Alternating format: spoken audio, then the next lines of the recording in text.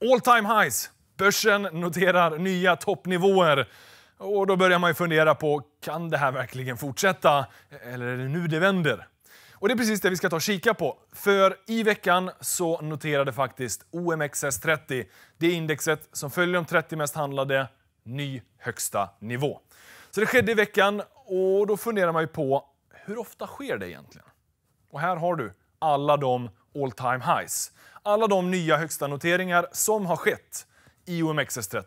Indexet startades där någonstans på 80-talet och sen så skedde det ett gäng nya högsta noteringar och sen framförallt då mot slutet 90-tal i IT-yran och sen millennieskiftet när det small så hade vi en ganska hög högsta notering så det dröjde fram till 2015 innan vi fick se en ytterligare högre.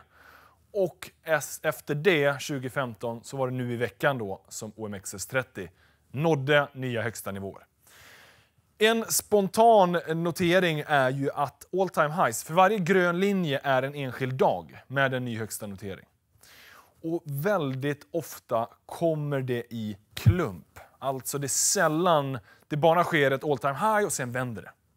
Utan det finns en momentumeffekt. Någonting befinner sig i positiv trend och fortsätter åtminstone ett litet tag till. Så att sällan det sker helt ensamt utan kommer i grupp. Sen är OMXS30 det är ett ganska smalt index eh, och det är kanske därför man kan hävda då att det stod ganska eh, still här, eller åtminstone inte noterade nya högsta nivåer under, ja, under nästan 15 år. Så kollar vi ett bredare index, typ Affärsvärldens generalindex, som följer hela Stockholmsbörsen. Nu tog jag bara år 2000 eh, för att kolla då egentligen de senaste här 19 åren. Och vi ser ganska liknande tendens. Sällan kommer nya högsta noteringar ensamt, utan det fortsätter ett tag till. Men det är ju också vid eh, kriser som vi också har sett nya högsta noteringar och sen har det vänt. Vi hade finanskraschen 2007, vi hade IT-bubblan år 2000, vi fick en sättning efter 2015. Så att det är ju också i samband med all time highs som vi sen får se nedgångar.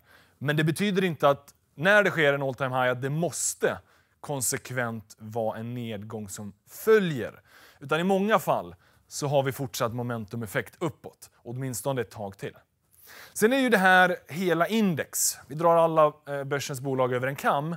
Vad händer när vi kollar på enskilda bolag? Vi kan ta Investor som exempel.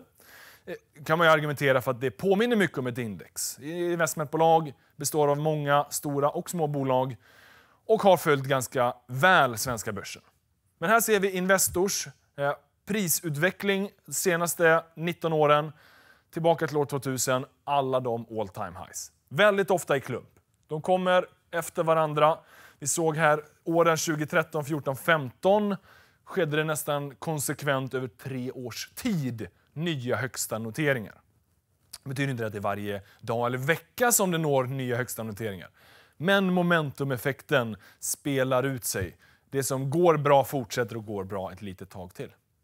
Och det var faktiskt 208 nya högsta noteringar som Investor har gjort under de här då 19 åren.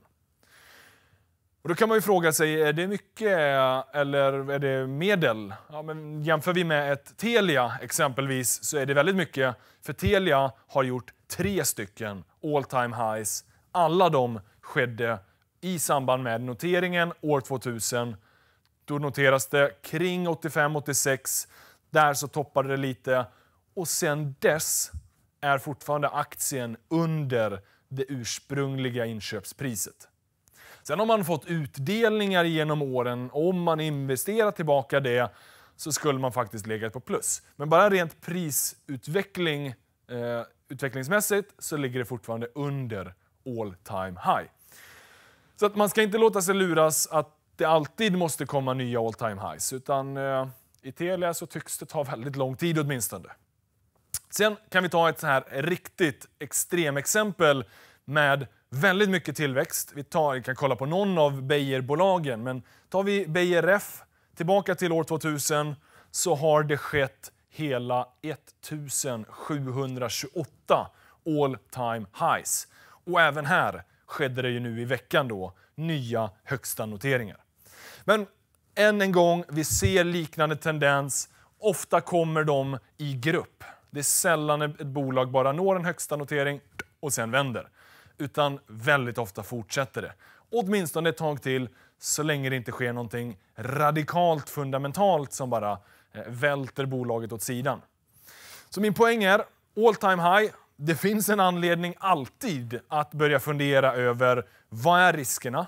Men man ska inte tro att all time highs per definition betyder att nu måste det vända, nu har vi nått toppen och härifrån har vi bara nedgång.